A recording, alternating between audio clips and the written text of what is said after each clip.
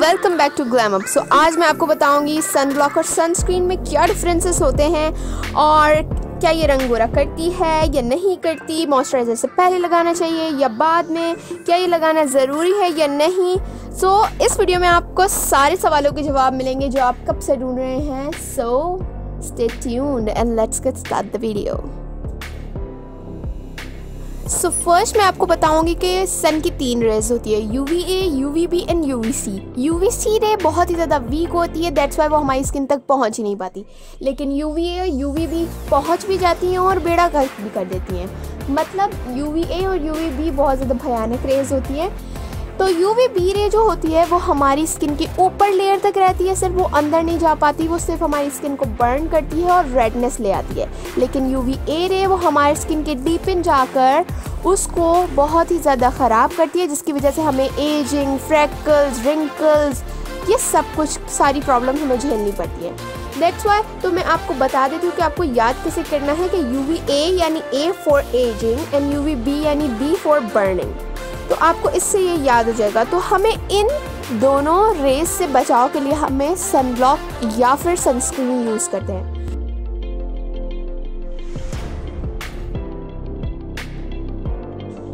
तो अब मैं आपको बताऊँगी कि सनब्लॉक और सनस्क्रीन में क्या डिफरेंसेस होते हैं। सन ब्लॉक जो कि इसके नाम से ही आपको अंदाज़ा हो रहा है कि ये आपके स्किन के ऊपर आने वाली हार्मफुल रेस से ब्लॉक कर देती है। मतलब हार्मफुल रेस को ब्लॉक कर देती है, आपकी स्किन पर नहीं आने देती। लेकिन जो सनस्क्रीन है, वो आपकी स्किन तक कुछ रेस को ब्लॉक करती है और कुछ रेस को पेनिट्रेट होने देती है। सनस्क्रीन की कंसिस्टेंसी थिनर होती है और वो बहुत ऑयलियर होती है as compared to sun sunblock sunblock की कंसिस्टेंसी बहुत ही थिकर और क्रीमी होती है। अब ये लोग अपनी स्किन टाइप की, कि आपकी स्किन को कौन सी कंसिस्टेंसी सूट करती है तो आप उस हिसाब से लें। और सन सनस्क्रीन लगाने के 30 मिनट बाद आप बाहर निकल सकते हैं धूप में। जबकि ऐसा नहीं होता, अगर आप सन ब्लॉक यूज़ कर रहे हैं तो आप जिस वक्त सन ब्लॉक लगाएँ, वो उसी वक्त असर करेगी और आप उसी वक्त धूप में निकल सकते हैं। तो सनस्क्रीन के भी बहुत सारे कॉन्स हैं और सन ब्लॉक के भी। लेकिन सन ब्लॉक मुझे ज़्यादा पसंद है एज़ कंपेयर टू सनस्क्रीन क्योंकि फिर सनस्क्रीन में आपको ये भी चूज़ करना होता है कि आपको कौन सी किस्म की सनस्क्रीन लेनी है, वो मैं अभी आपको आगे बता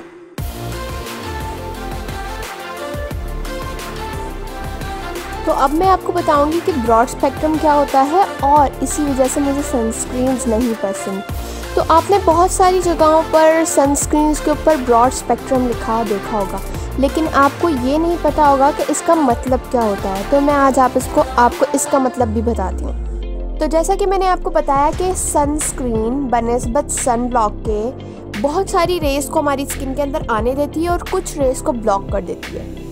तो इसी तरह कुछ सनस्क्रीन पे लिखा होता है यूवी बी प्रोटेक्टिंग सनस्क्रीन जो कि सिर्फ़ हमें यूवी बी रे से प्रोटेक्ट करती है, लेकिन आपको मैंने बताया है कि यूवी बी रे इतनी ज़्यादा हार्मफुल नहीं होती, जितनी यूवी ए रे होती है। तो हमें यूवी ए रे से प्रोटेक्शन चाहिए, ना कि यूवी बी रे से।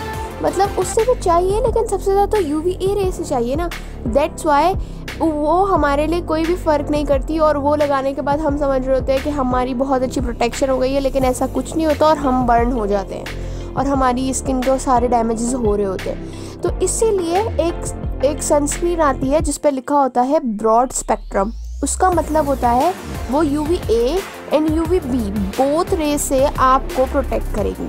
अगर आप सनस्क्रीन लेना चाहते हैं, यानी आपकी स्किन उसको सूट करती है सनस्क्रीन आपकी स्किन को सूट करती है तो आप ज़रूर लें, लेकिन ये देख लीजिएगा कि उस पर ब्रॉड स्पेक्ट्रम लिखा हो। तो इसके बहुत ज़्यादा झमेले होते हैं that's why I am preferring you sunblock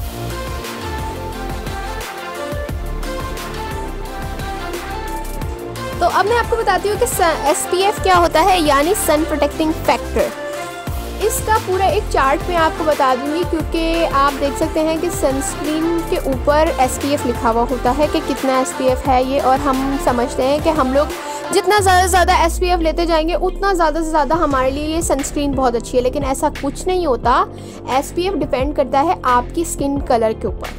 मैं यहाँ पे चार्ट लगा रही हूँ, आप वो देख लें कि उसके ऊपर कितने कितने स्किन टोन के ऊपर कौन सा कौन सा एसपीएफ कितनी टाइम तक रह सकता है। अगर आपकी स्किन बहुत ज़्यादा फेयर है तो आपको तो जिन लोगों की स्किन बहुत ज़्यादा फेयर होती है, उन लोगों को सन बर्न हो जाता है और उनके ऊपर सन बहुत ज़्यादा असर करता है एज़ कंपेयर टू जिनकी बहुत डार्क होती है। या जिनकी मीडियम होती है, या जिनकी कम फेयर होती है, उनको देर से असर करता है, लेकिन जिनकी बहुत ज़्यादा फेयर होती है, उनको बहुत जल्दी असर करता है। तो जैसे यहाँ पे है कि वेरी स्किन पर अगर आप एस पी एफ़ थर्टी भी लगाते हैं तो वो एक घंटे तक रहेगा बस। लेकिन अगर डार्क स्किन है और अगर आप एस पी एफ़ एट या फोर्टीन तक लगाते हैं तो वो एक घंटे रहेगा। तो आप सोच सकते हैं कि ये अकॉर्डिंग टू स्किन को टोन कितना मैटर करता है। तो आप इस चार्ट में देखकर अपने अकॉर्डिंग अपने एस पी एफ़ ले लीजिएगा, अपनी स्किन के लिए।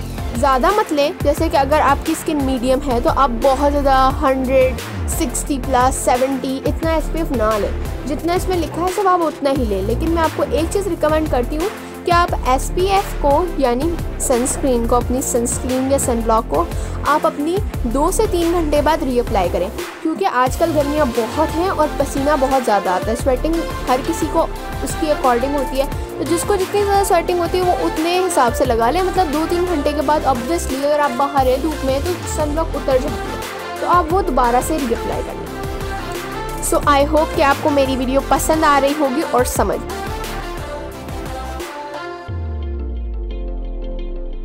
नॉट द लीस्ट कि मैं आपको बता देती हूँ कि ये पी ए प्लस प्लस क्या होता है? U V A protecting based होता है। मतलब इससे आपकी, ये बताता है कि आपकी स्किन को यू वी ए रे से ये कितनी देर तक बचाएगा। अगर आपके सन ब्लॉक पर पी ए प्लस लिखा है तो वो सिर्फ़ आपको दो या तीन घंटे तक बचाएगी। अगर पी ए डबल प्लस लिखा है तो चार से आठ घंटे। और अगर पी ए ट्रिपल प्लस लिखा है तो आठ से और ज़्यादा घंटे तक आपको ये प्रोटेक्ट कर सकती है यू वी ए रे से। तो आई होप कि आपको सब कुछ समझ आ गया होगा और आपको मेरी वीडियो पसंद आई होगी।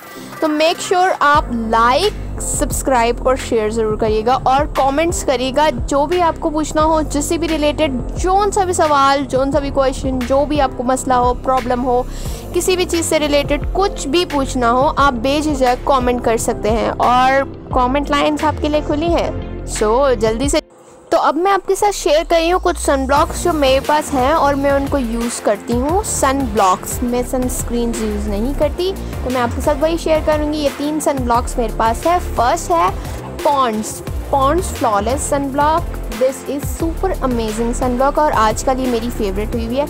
इस वजह से भी क्योंकि ये बिल्कुल भी टिंटेड नहीं है और इसका कोई भी कलर वगैरह नहीं होता और ये वाइट कास्ट भी नहीं छोड़ती।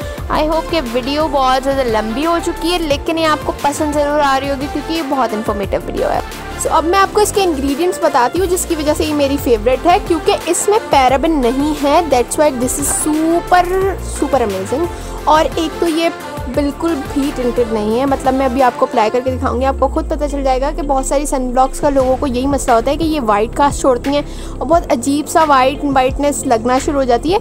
लेकिन ये वाली सन ब्लॉक ये वाइट कास्ट छोड़ती ही नहीं है and this is super amazing और ये आप मतलब और इसकी एस पी एफ़ है सिक्सटी तो ये कोई भी लगा सकता है मतलब medium to medium to fair skin tone वाले भी लगा सकते हैं और और इसको मैं दो से तीन घंटे के बाद रीअप्लाई कर लेती हूँ और